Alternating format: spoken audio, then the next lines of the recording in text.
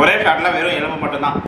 So இது வந்து நல்ல குக்கான என்ன சொல்லுவோன்னா நல்லா ஆடி அலங்காரம் பண்ண ஒரு சிக்கன் கிரேவி அதில் வந்து என்ன பண்ணுவோன்னா நல்ல பஞ்சு போல் இருக்கிற ரெகுலர் சிக்கனையும் எடுத்து உள்ளார வச்சுட்டு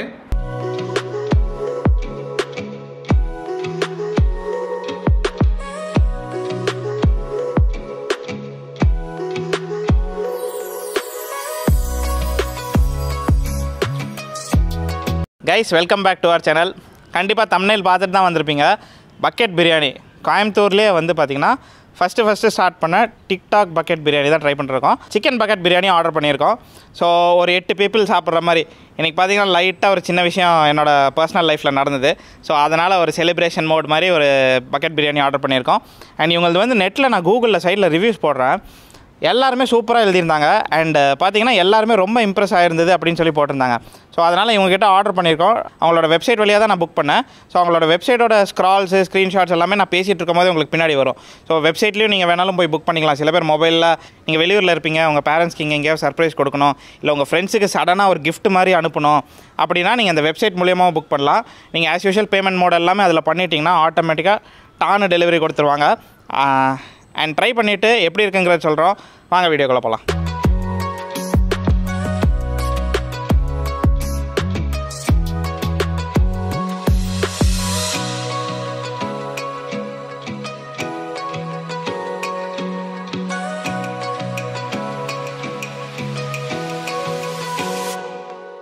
ஃபுல்லாக ஓப்பன் பண்ணி வச்சிட்டோம். ஓப்பன் பண்ணி சிலதெல்லாம் அப்படியே லைட்டாக டேஸ்ட் பண்ணி பார்த்துட்டோம். என்னென்னங்கிற சொல்லிடுறேன் ஸோ இது வந்து பக்கெட் பிரியாணி காம்போ ஸோ இந்த பக்கெட் பிரியாணி காம்போவில் வந்து அது கூட வர்றது வந்து பார்த்திங்கன்னா தயிர் பச்சடி கிரேவி அப்புறம் வந்து ஸ்வீட்டு ஸோ இது வந்து அந்த காம்போவில் வரும். அது இல்லாமல் வந்து பார்த்திங்கன்னா ஒரு புதினா சட்னி நான் நெட்டில் ரிவ்யூ பார்த்தேன். ஸோ நிறைய பேர் அந்த சிலப்போ புதினா சட்னி கொடுப்பாங்க செய்கிற அன்னைக்கு. ஸோ அந்த காம்பினேஷன் வந்து நல்லாயிருக்கும் அப்படின்னாங்க. ஸோ அதனால் அதை ரிக்வெஸ்ட் பண்ணி கேட்டேன். ஸோ அது இல்லாமல் வந்து பார்த்திங்கன்னா இது ஒரு டிஷ்ஷு வந்து பார்த்திங்கன்னா பெங்களூர் சிக்கன் இது ஒரு ஸ்டார்டர் வாங்கியிருக்கோம். அப்புறம் இது வந்து வறுத்த கறி. இந்த கரண்டி. ஸோ நம்ம வீட்டிலேருந்து எதுவுமே எடுக்க வேண்டாம். வெளியூர் போகிறீங்கன்னா கூட நீங்கள் அந்த கரண்டி எல்லாமே கொடுத்துட்றாங்க. பிளேட்ஸ் வேணாலும் கொடுப்பாங்க. நான் சில ஃபோட்டோஸில் பார்த்தேன். பிளேட்ஸும் கொடுக்குறாங்க. ஸோ மெயின் ஃபஸ்ட்டு பிடிச்ச விஷயம் பார்த்தீங்கன்னா பேக்கிங் எதுவுமே வந்து பார்த்திங்கன்னா நம்ம வீட்டில் பாத்திரம் யூஸ் பண்ணாத அளவுக்கு சின்ன சின்ன டப்பாலே எல்லாமே போட்டு கொடுத்துருவாங்க முட்டை வேற இட்டு வருது. ஸோ பிரியாணியை ஃபஸ்ட்டு ஓப்பன் பண்ணிடுவோம்.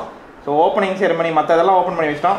பிரியாணியோட ஓப்பனிங் செரிமனி மட்டும் நம்ம ஆடியன்ஸ்க்காக வச்சுட்டு குவான்டிட்டி காட்டிடலாம். ஏன்னா நாங்கள் ஃபுல்லாக இலையில போட போகிறதில்ல போட்டு நம்ம மெயினாக நல்ல ஃபாயில் பேப்பர் போட்டு டைம் வாவ் மேலே ஒரு ஃபாயில் பேப்பரு ஸோ அது இல்லாமல் உள்ளார ஃபாயில் பேப்பரு ஸோ நம்ம என்ன பண்ணுவோன்னா ஓப்பன் பண்ணும்போதே நல்லா ஓப்பன் பண்ணும்போதே நல்ல வாசனையாக இருக்குது ஸோ நீட்டாக இலையில போடுவோம்.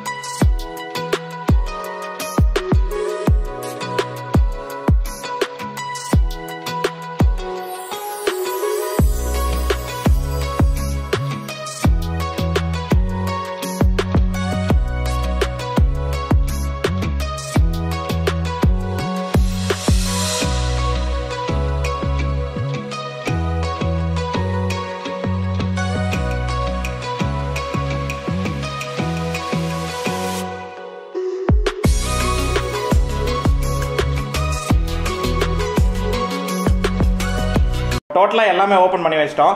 ஸோ என்னென்னங்கிறது சொல்லிடுறேன். ஸ்வீட்டு புதினா சட்னி.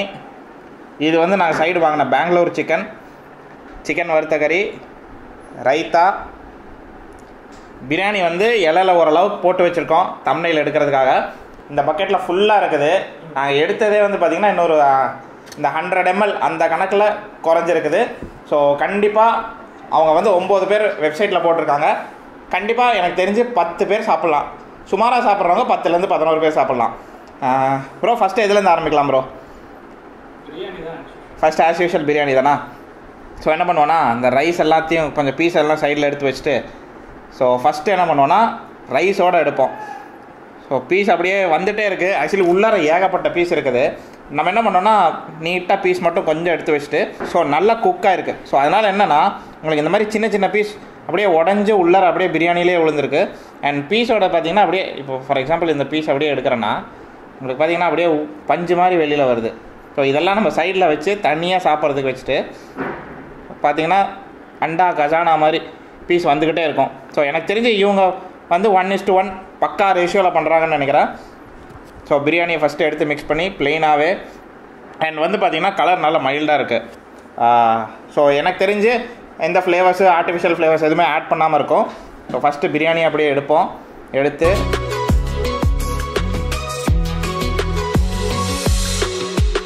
தரமான பிரியாணி. அண்ட் பிரியாணி சாப்பிடும் போதே தெரியும் உங்களுக்கு. அந்த நெக்ஸ்ட் வாய் கேட்டுகிட்டே இருக்கும். ஸோ இதில் வந்து அந்த ஃபீல் இருக்குது. அண்ட் இன்னொன்று என்னென்னு பார்த்தீங்கன்னா அந்த ஒரு ஆர்டிஃபிஷியல்னஸ் எதுவுமே லைட்டாக இல்லை. ஆர்டிஃபிஷியல்னஸ் எதுவுமே இல்லை. நல்லா வீட்டில் செஞ்ச மாதிரி. நல்ல கம கமன் வாசனையாக இருக்குது அண்ட் நாக்கில் வந்து டேஸ்ட் திருப்பி ஒட்டிக்கிட்டே இருக்குது ஸோ என்ன பண்ணுவோம்னா திருப்பி இந்த ஒரு பிரியாணி கேட்டதுனால இன்னொரு ஒரு வாய் போயிட்டு. ஸோ நிறைய பேர்த்துக்கு இவங்ககிட்ட வந்து புதினா சட்னி காம்பினேஷன் இருக்குங்கிறது தெரியாது. ஸோ கிரேவியெல்லாம் கடைசியில் ஃபஸ்ட்டு வந்து புதினா சட்னி. ஸோ இந்த புதினா சட்னி எடுத்துகிட்டு ஃபஸ்ட்டு என்ன பண்ணுவோன்னா எனக்கு எப்போவுமே இந்த மாதிரி புதினா சட்னி பாட்டோம்னா துவையல் ஸ்டைலில் ஃபஸ்ட்டு நக்கி பார்க்க தோணும்.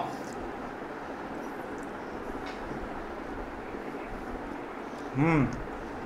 நல்லா ஸ்பைசியாக இருக்குது என்ன பண்ணுவோன்னா அப்படியே பிரியாணியில் வச்சு இந்த காம்பினேஷன் ஃபஸ்ட் டைம் நிறைய பேர்த்துக்கு பிடிச்ச காம்பினேஷன் நிறைய பேர்த்துக்கு இந்த காம்பினேஷன் தெரியாது. ஸோ பிரியாணி வித் புதினா சட்னி எடுத்துகிட்டு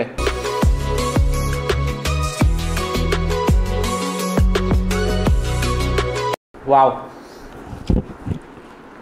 உங்களது பிரியாணி வந்து பார்த்திங்கன்னா நல்ல லைட்டாக ஸ்மூத்தாக டேஸ்டியாக இருக்குது அண்ட் இன்னொன்று ஒன்று பார்த்தோன்னா ரைஸ் குவாலிட்டி ஸோ இந்த ரைஸ் பார்த்தீங்கன்னா ஒரு ரைஸ் இன்னொரு ரைஸ் வந்து ஒட்டவும் இல்லை. லைட்டாக அங்கங்கே மட்டும் ஒட்டியிருக்கு. அண்ட் நல்ல ஸ்மூத்தாக இருக்குது ஸோ அந்த கரெக்டான குக் பண்ணதுனால அந்த ஃப்ளேவர் இருக்குது. நல்லா குக்காக இருக்குது நல்லா சாஃப்டாக இருக்குது நார்மலாக வந்து வெளியில் பிரியாணி சாப்பிட்டிங்கன்னா பீஸ் வந்து அந்தளவுக்கு குக்காக இருக்காது. லாஸ்ட்டில் போடுவாங்க. இவங்க போட்டு அந்த மசாலாவே செஞ்சதுனால உங்களுக்கு நல்லாவே குக்காக இருக்குது எப்போவுமே விருந்துனா ஸ்வீட்லேருந்து ஆரம்பிக்கணும். ஸோ இது வந்து பார்த்திங்கன்னா ஒரு அந்த காஜு கத்லி ஷேப்பில் ஒரு ஸ்வீட்க்கு தராங்க. லிட்ரலி மைசூர் பாதாம் ரொம்ப திகட்டுற அளவுக்கு டேஸ்ட் இல்லாமல் கரெக்டான பதத்தில் சூப்பராக செஞ்சுருக்காங்க. இந்த ஷேப் வந்து நல்லாயிருக்கு ஸோ ஸ்வீட் போது நெக்ஸ்ட்டு வந்து பெங்களூர் சிக்கன் ஸோ இதில் பார்த்தீங்கன்னா உங்களுக்கு ஒவ்வொரு பீஸ்லேயுமே அந்த மசாலா வந்து மேலே அப்படியே நல்லா ஒட்டி இருக்குது. இப்போ என்ன பண்ணுவோன்னா நல்ல ஒரு பீஸ் எடுத்துகிட்டு பீஸா ஃபிகரான்னு கேட்டிங்கன்னா கண்டிப்பாக பீஸ் தான் சொல்லுவோம். ஸோ என்ன பண்ணுவோன்னா பெங்களூர் சிக்கன் நல்லா டிஃப்ரெண்ட்டாக இருக்குது கொஞ்சம் அந்த புதினா ஃப்ளேவர் ஜாஸ்தியாக இருக்குது பட் ஸ்பைசினஸ் லைட்டாக இருக்குது ஸோ ஒரு யூனிக்கான டிஷ்ஷு கண்டிப்பாக வந்து எல்லாத்துக்கும் பிடிக்கிற ஒரு டிஷ்ஷு நெக்ஸ்ட்டு வந்து நெக்ஸ்ட்டு வந்து வறுத்த கறி.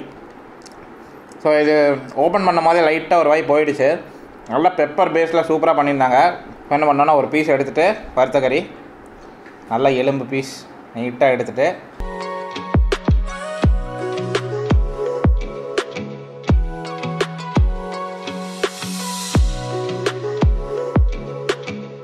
சிக்கனை ஆண்டவன் படைச்சதே வந்து நம்மளை மாதிரி ஆளுங்க நல்லா ருசித்து ரசித்து சாப்பிட்றதுக்கு தான் சூப்பராக வெந்திருக்குது. அண்ட் பார்த்தீங்கன்னா பெப்பர். க்ரஷ்டு பெப்பர் போட்டிருக்காங்க. ஒவ்வொரு பைட்லேயும் வந்து டேஸ்ட் பண்ண முடியுது. அண்ட் அந்த பச்சை மிளகா அந்த மசாலாலாம் வந்து டோட்டலாக சூப்பராக பிளெண்ட் ஆயிருக்கு. ஸோ என்ன பண்ணுவோன்னா இதில் இருக்கிறது ஏன் சிக்கனை விடுவோம்? அப்படியே ஒரு வாய் எடுத்துகிட்டு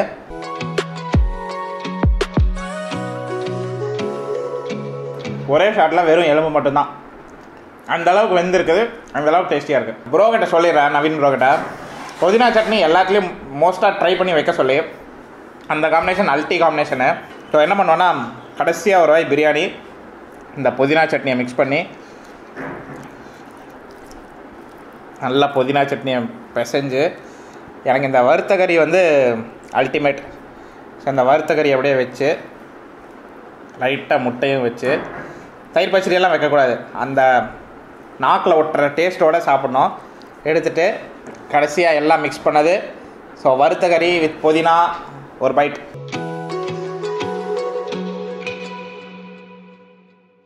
புதினா சட்னி காம்பினேஷன் அல்டிமேட் வேறு லெவலில் டேஸ்ட் இருக்குது எல்லாத்தையும் முடித்து அவுட்ரோவில் சந்திக்கிறேன். ஃப்ரெண்ட்ஸ் சாப்பிட்டு முடிச்சிட்டோம்.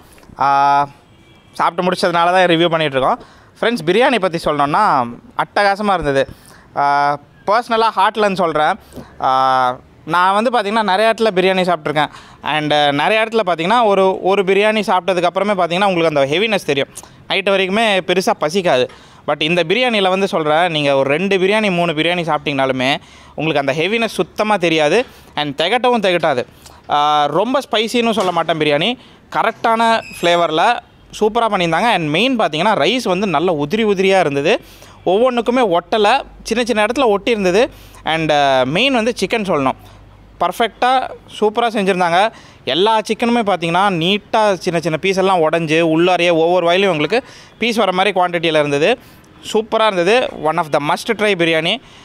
கேரண்டியாக சொல்கிறேன் இந்த பிரியாணி நீங்கள் சாப்பிட்டிங்கன்னா கண்டிப்பாக டிசப்பாயிண்ட் ஆக மாட்டீங்க. நம்ம வியூவர்ஸ் வந்து ரொம்ப டேஸ்ட்டாக எதிர்பார்ப்பீங்க. கண்டிப்பாக மிஸ் பண்ணாதீங்க.